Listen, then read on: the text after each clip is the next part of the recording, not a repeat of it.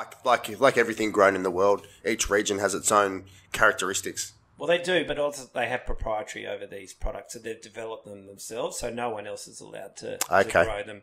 So hops are sort of pretty much owned. Uh, so the US has their own varieties, New Zealand does, the UK and Europe as well, and um, so it's very easy to get access to the, to those products because they come in a pelletized form, very easy to ship, and so you can replicate any beer style because of it.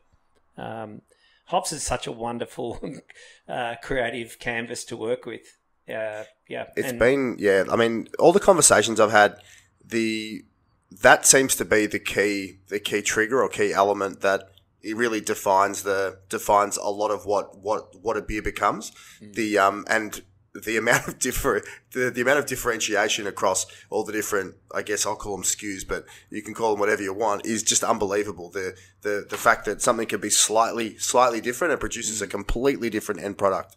Yeah, it does. And also blending them, that's a lot of fun too. You know, so I've got my own particular.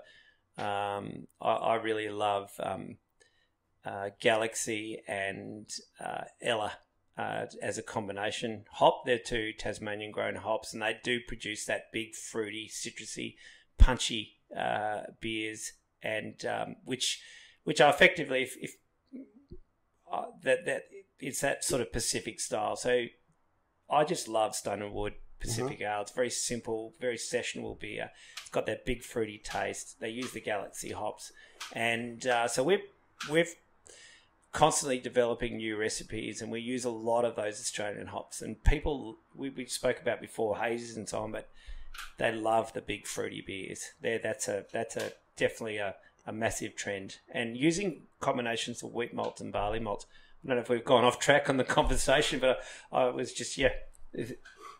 I, I I think it's um yeah I think that trend's going to stay for a long time. Yeah, It's- cool. And something uniquely Australian, I believe.